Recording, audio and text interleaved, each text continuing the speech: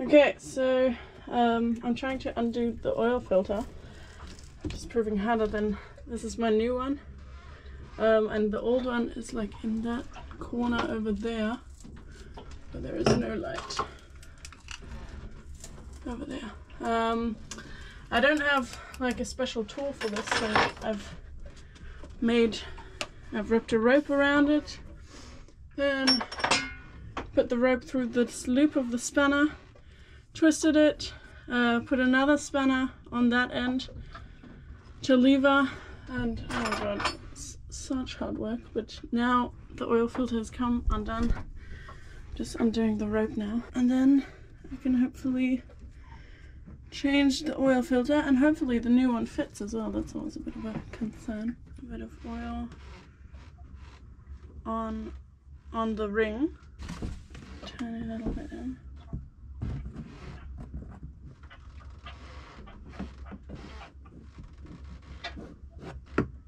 Okay, seems to fit. Right, now you need to start your engine. Listen to me before you do that. Yeah. And run it for a little while, for 30 seconds or something like that. And Okay. then stop it, and your oil level will have gone down because now you've filled up an empty oil filter. Yeah, yeah? So yeah, then okay. step up your oil level in the engine to the Mm. right level, and then run the engine again. Okay.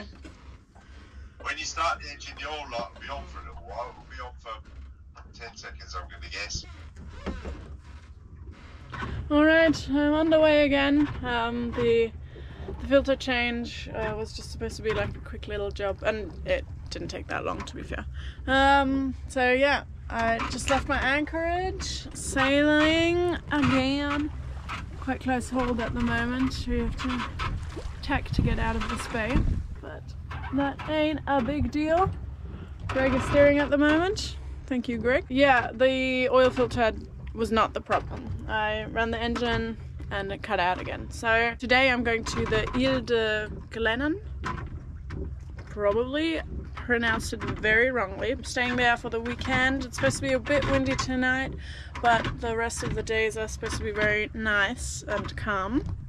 Uh, so I'll stay there over the weekend and then on Monday or Sunday um, I'll go to Concarneau uh, where I'll be going into the marina and I've already contacted a mechanic there uh, and then he'll come round on Tuesday. Yeah, and hopefully he can fix the problem. I doubted that the oil filter was it at all, really. But still, you you hope, don't you? That it's like a simple thing. Yeah, still still hoping that the mechanic can, can fix it. Uh, and until then, I am learning to live without an engine. Or, well, with 15 minutes of engine time. But I'll be enjoying my chill time. It's only like 14 miles today, so very relaxed. Um.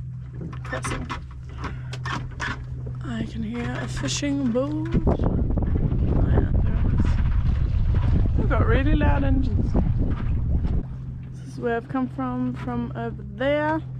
Kind of looked actually like I was uh, anchored on the ocean. Wasn't the most protected anchorage, but the last two days there was no wind, so it was fine.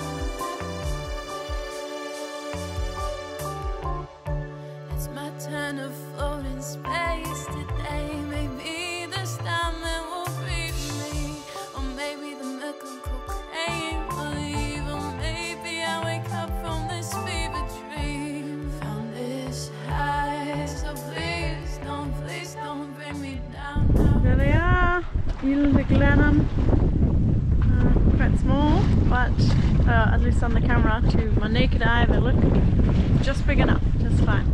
Uh, I can see quite a lot of boats anchored in the anchorage already. uh, which is good in terms of that people haven't flee, flown, fleeing this place uh, because of the wind. But I hope I can find a space. Um, yeah, gonna do my last tack in a minute, or well, it might actually be second to last. Um, we'll see.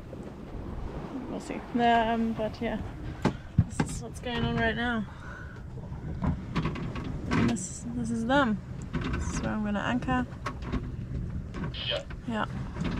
Nice stuff. Yay.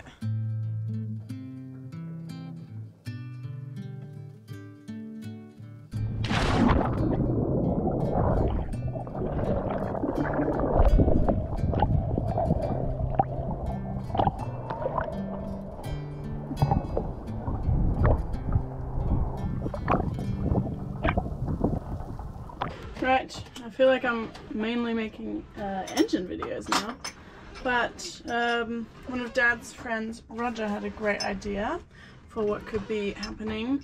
So that these little um, bolts, this is obviously this is the return line um, from the injectors back to the fuel filter. Uh, and they could be the little bolts they have like little holes in them and they could be blocked up or the return line could be blocked up as well. So basically I'm gonna undo them check that everything's clear. Yeah ta-da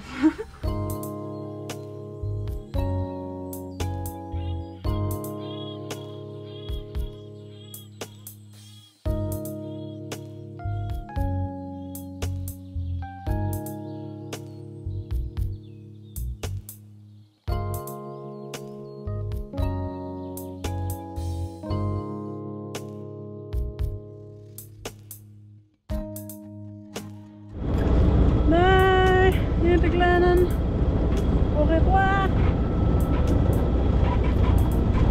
Ah, on we go. Over to Concarneau. As you can hear, the engine is running right now, but um, the problem is that it always cuts out after 15 minutes. So I use it to like maneuver out of anchorages or get into marinas or things like that. But um, other than that, it's pure sailing. Sailing. Yeah. Yeah, there we go. But now I'm going into Concarneau. Hopefully the mechanic can fix whatever the problem is. And then all will be well again.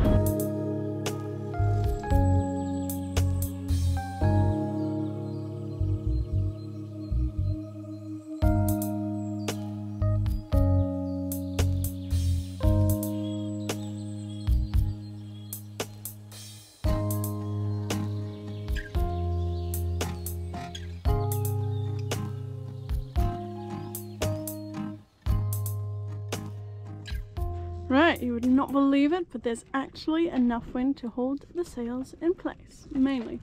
Okay, they're flopping about a bit, but earlier it was much worse, so this is progress indeed.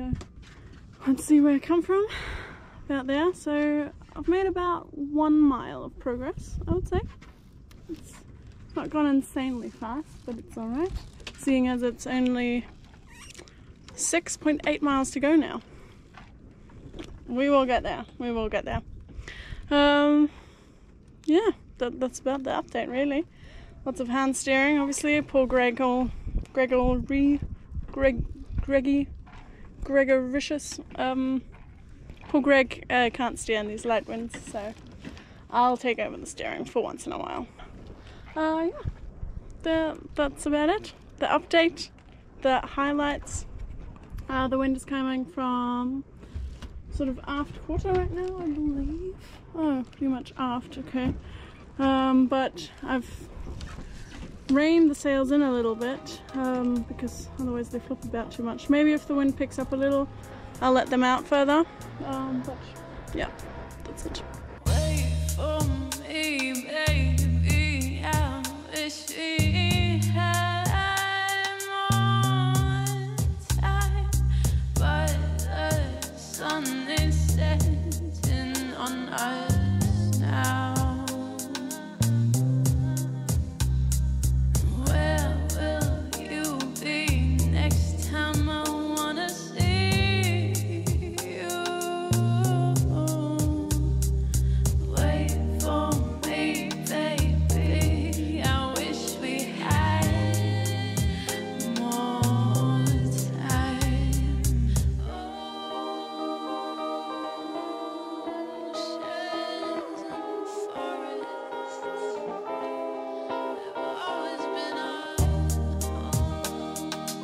Right, so I've taken the full sail down because I can take the main down much faster um, and I can sail, uh, I just wanted more control and I wanted to go a bit slower so that I have time to prepare all my lines and everything, which I have done. Um, in about, I think when I turn this corner, I'll probably turn on the engine and then once I know that everything works, because often it takes a little while to start as well, then I will take down the main. This is Concarneau. Alright, the mechanic is here. Um, he's just getting something from his van now, but he thinks it might be the pump, which is interesting. Okay, so he changed the impeller on the freshwater pump, um, which it was destroyed actually. Uh, so that was very good that he did that. Um, but now the freshwater tank, which is usually over here, um, that was, it's got something in it, like it's blocked, the water doesn't really come out the way it should when you take the pipe off. So he's taking that with him to his uh, workshop now to try and unblock it, basically. Yeah, I do hope, I am in good spirits that this is the problem because you know there was an obvious problem. I just hope that um, the overheating that resulted of this blocked impeller or destroyed impeller doesn't um, hasn't done damaged the engine any further. But yeah, I hope so. Alright, that is it for this video. Thank you so much to everyone for watching. As you may or may not be able to tell, I am in a different location right now. I'm filming this outro on my friend Drake and Mo's boat Paragon. So thank you my dear friends for letting me film here. Uh, I have written the name of the YouTube channel on the whiteboard here, Drake Paragon. I have also added the link to said channel in the description box below. If you don't know them yet, please check them out. They deserve all the love. Huge thank you, as ever, goes out to my Patreons. I've put the link to my page in the description box below. I post bi-weekly videos there every other week that I'm not posting on YouTube, so if you're interested in the extra content, I would be so happy if you clicked the link and checked out my Patreon page. The music in this video is by me and I would like to thank you for the support I've got on it so far. It really means a lot. Okay, I hope you guys have a lovely two weeks or if you are a patron, see you next week with an update. Okay, bye!